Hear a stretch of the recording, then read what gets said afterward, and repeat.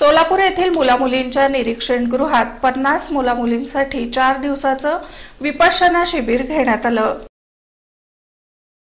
सोलापुरातील मुलामुलींच्या निरीक्षण गृहाचे पदसिद्ध अध्यक्ष तथा जिल्हाधिकारी मिलिंद शंभरकर यांच्या मार्गदर्शनानुसार संस्थेतील पन्नास मुलामुलींसाठी चार दिवसांचं विपश्यना आनापान शिबिर घेण्यात आलं.